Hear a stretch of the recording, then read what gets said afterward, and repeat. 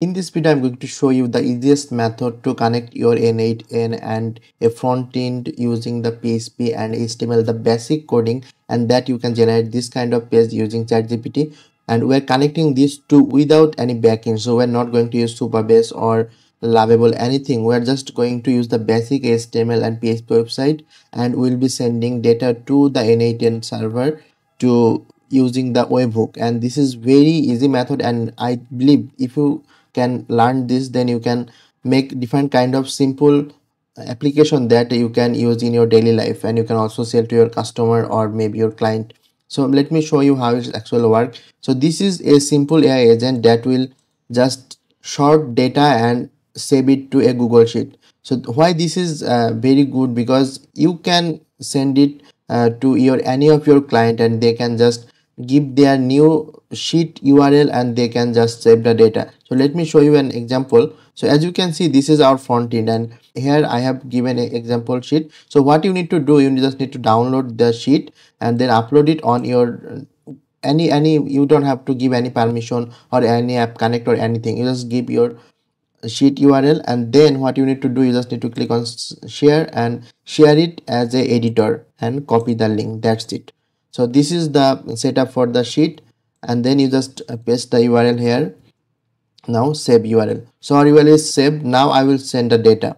So as you can see this is our custom data. And this is not necessary to be in exact organized list or anything. You can give it random or maybe a, a just a copy text a simple plain text. But we will be using ai to classify those text and it will automatically save the data where it want so i'm just going to copy it then you can see this is our uh, the columns and the AI will match the data to the columns and post it here. So I'm going to just paste it here and click on send.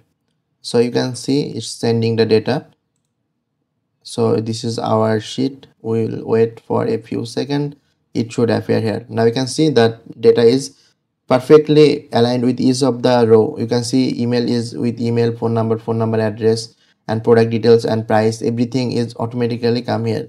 So this is very useful for uh, the people who are getting orders through facebook or online page or instagram and then later they need to sort the order list or anything in the google sheet. They can use this tool and uh, you can send it to your other teammates. Just uh, they just need to refresh the page and if they want to use their new sheet they can just upload the sheet and publish it here. So this is the setup and this is completely without any backend. You just need to html and php and you can host it on any anywhere. Like here i'm using the plain hosting. You can see i'm just uh, uploaded the html index and only the send data and the sample file to download. That's it. Nothing nothing necessary. You don't have to have any cloud server or anything. You can just host it on your local host or maybe simple web hosting platform so that's why this is very easy to host and you can make defined kind of application and you can also generate these pages using ChatGPT. And uh, let me show you some code from here how I am sending this data to the N8N so this is the index setup. Here we are just showing basic things like the web page and how it will be react. So this is the download link.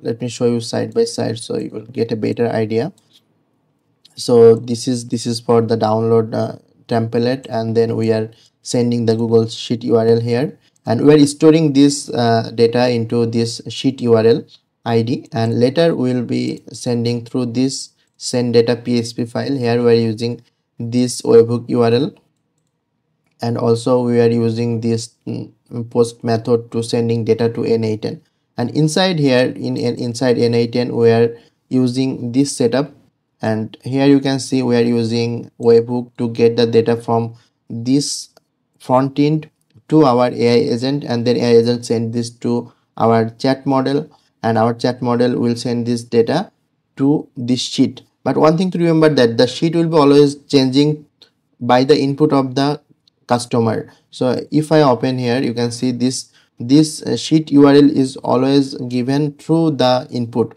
So when they send this uh, sheet url it will automatically come to this uh, sheet url here and it will update and then automatically match with the column. That's it. So this is very easy setup and for the ai agent we give some prompt here. So uh, your role is to record your order data to google sheet. You have my google sheet access and you match all the data. Name email phone number and that's it. So this is the setup and uh, this way you can make this front end for your webhook and n8n i hope this video helps those who are starting with the ai agent. Uh, you can also get this uh, full source code uh, in my description box. So thank you for watching and uh, if you have any problem please let me know in the comment section. I'll see you guys on the next video